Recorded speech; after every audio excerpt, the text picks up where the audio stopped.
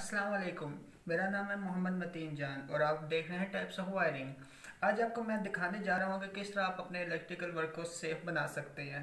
आपको किस तरह से बिजली नहीं लग सकती, जो आपके लिए सबसे पहले ज़रूरी चीज़ है। आपको चेक करना होगा कि आपके पास करंट आ रहा है या नहीं। जैसा कि आप देखें तो यहाँ पर टेस्टर फुल चल रहा है। और फिर आप इसको अगर चाहते हैं कि ये करंट आपको नहीं लगे तो आपको सबसे पहले अपनी प्रोटेक्शन करनी ज़रूरी है। अभी आप देखिए कि मैं कैसे इसको तार लगाता हूँ और आगे इसको हाथ लगा लेता हूँ। और ये मुझे करंट नहीं पड़ा। जबकि आप देखेंगे कि इधर टच करो, कि मेरे अंदर फुल करंट है। इधर से पकड़ो। जैसा कि आप देखेंगे मेरे अंदर फुल करंट है। आप ये करंट मुझे कहीं पे भी लगा सकते हो। फेस पे लगाओ। ये बालों पे लगाओ। ये देखें टेस्टर चल रहा है।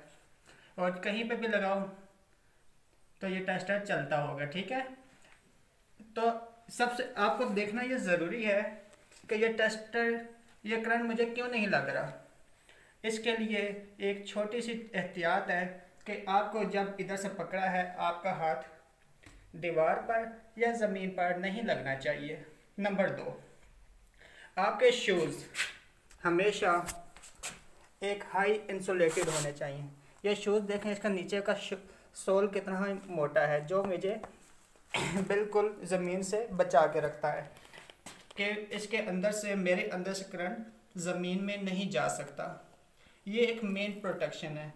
अगर आपके पास इतने मोटे शूज़ नहीं हैं तो आपको चाहिए कि कोई लकड़ी की चीज़ जो मुकम्मल तौर पर खुश्क हो, या कोई मोटा गद्दा, प्लास्टिक, या ऐसी कोई चीज़ जिसका ताल्लुक आपका ज़मीन से ना हो रहा हो, उसकी रेजिस्टेंस बिल्कुल ज़ीरो हो।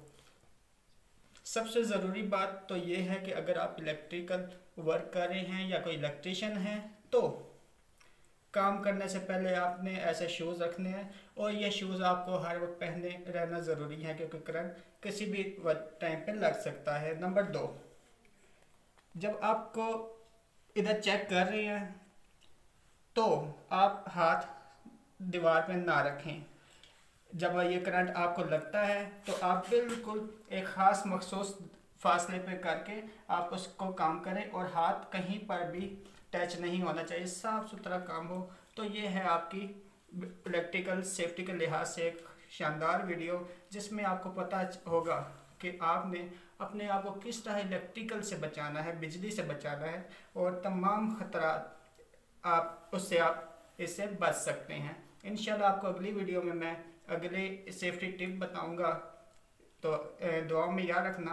अल्लाह हाफिज़।